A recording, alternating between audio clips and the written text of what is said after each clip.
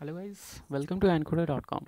In this video I'm gonna show, show you how to remove the new status feature from WhatsApp and get back to old WhatsApp. Many people have tried installing the old WhatsApp APK but that also didn't work for them. But I'm gonna tell you a working method. So without wasting any further time, let me go to the method. Okay, first let me show you the what's current WhatsApp version which I am using. Here we can see you here we can see that the new status tab feature which is present here which is really annoying for me also. Okay. Let me show you the current my whatsapp version which i am using.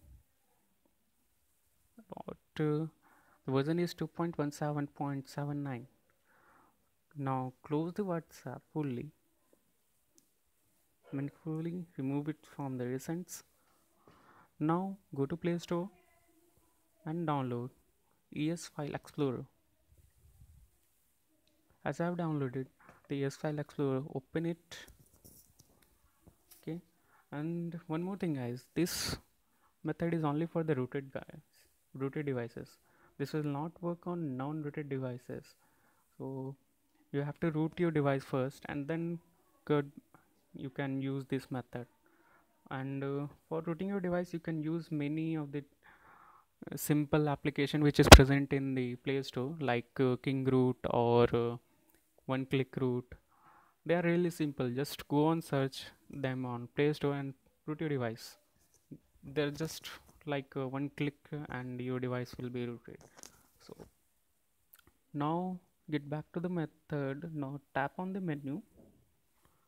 Enable root explorer. Now scroll up.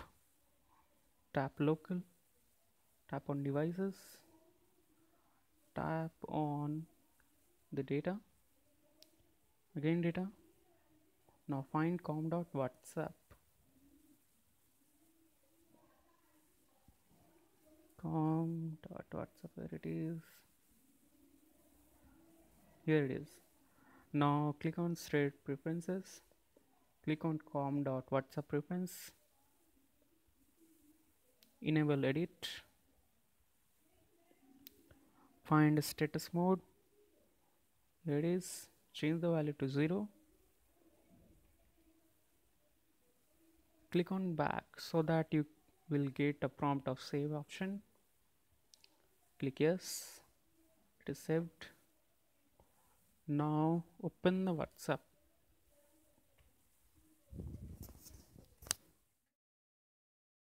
Here you can see that new status feature which was the new status tab present in the whatsapp is has gone. So now you can see in all are many status i can see the status update without any let me show you the whatsapp version also. The version is 2.7.79 okay? So i've not changed the application version and still I have changed the WhatsApp feature to old okay? So that was about it for this video guys. If you like this video please hit like button and also subscribe to channel for more content which is coming soon